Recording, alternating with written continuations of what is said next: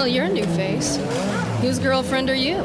Look at the time! We need our damn racer! Where the heck is he? Well, he is a she, and I'm right here. The name's Rena. You must be Eddie. Not everything about GBI was turning out to be fun and games. But then mm-hmm. came the real shock. Good.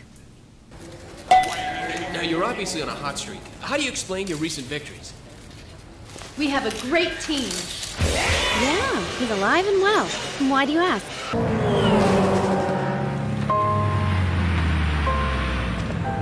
Nice move on that last corner, Rena. You almost had me. We have to work a lot harder now, and I can't seem to place as well as before. Hey, we've got